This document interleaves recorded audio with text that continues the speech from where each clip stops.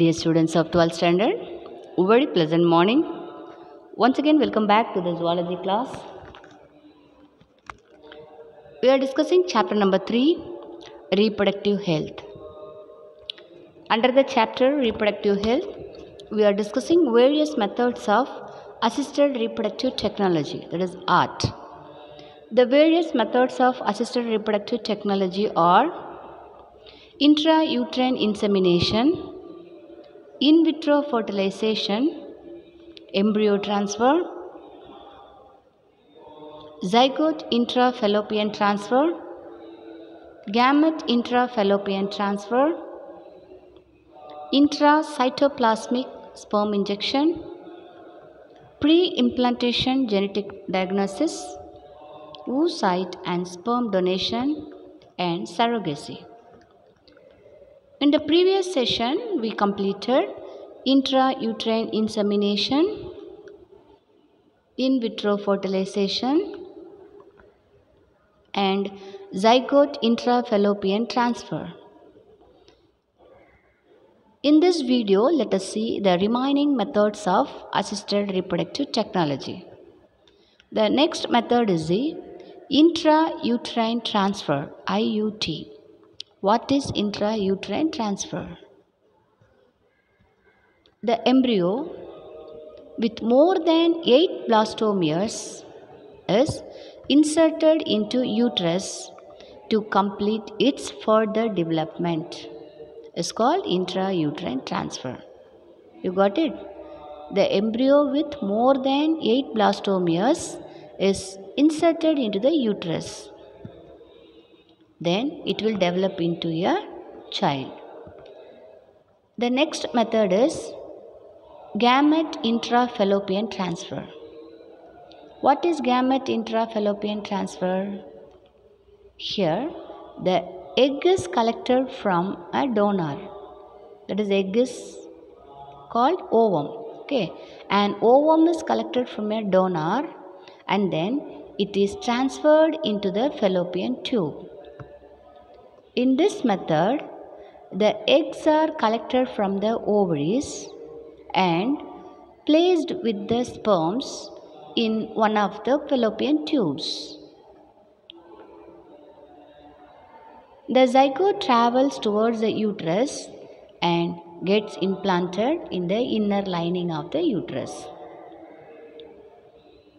The next method is the intracytoplasmic sperm injection. What is intracytoplasmic sperm injection? In this method, only one sperm is injected into the focal point of the egg to fertilize. The sperm is carefully injected into the cytoplasm of the egg. Fertilization occurs in 75 to 85 percent of eggs injected with the sperms. The zygote is allowed to divide to form an 8-celled blastomere and then transferred to the uterus to develop a protective pregnancy. Then surrogacy. What is surrogacy? Surrogacy is a method of assisted reproduction or agreement whereby a woman agrees to carry a pregnancy for another person who will become the newborn child's parent after birth. You got it? Surrogacy is a method of assisted reproduction or agreement whereby a woman agrees to carry a pregnancy for another person who will become the newborn child's parent after birth.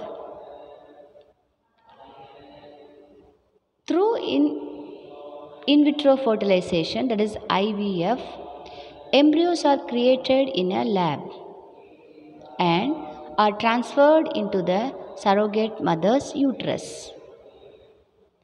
Got it?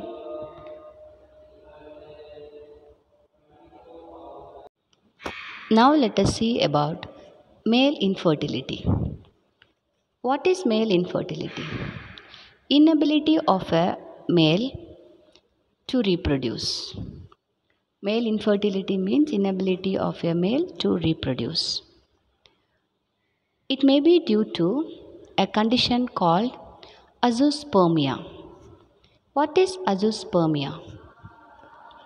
Azoospermia is defined as the absence of spermatogonia in the ejaculate semen on at least two occasions and is observed approximately in 1% of the population. For these males, there is a technology called microtesticular sperm extraction is very much useful.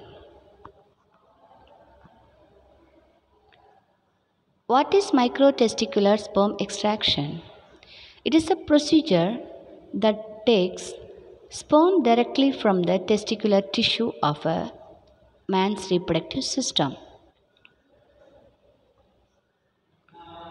This method involves a small midline incision in the scrotum and microsurgical sperm retrieval from the testicle. Under the microscope, the seminiferous tubules are dilated and small amount of testicular tissue in areas of active sperm production are removed and used. Got it? Thank you. See you in the next class.